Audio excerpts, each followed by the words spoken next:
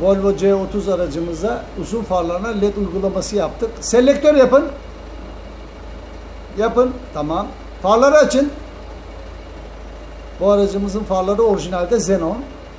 BX Xenon mekanizma var bunlarda. Yapın selektör. Evet.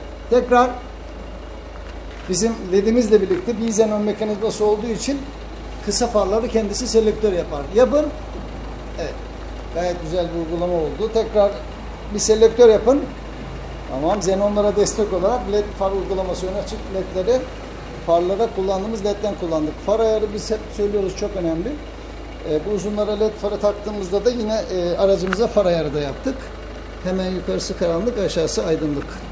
İnsanların gözünün almaması için, siz de önünüzü rahat aydınlatabilmesi için far ayarı çok önemli.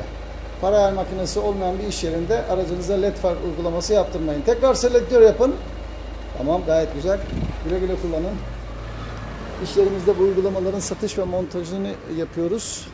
Video altındaki iletişim bilgilerinden bizimle bağlantı kurabilirsiniz.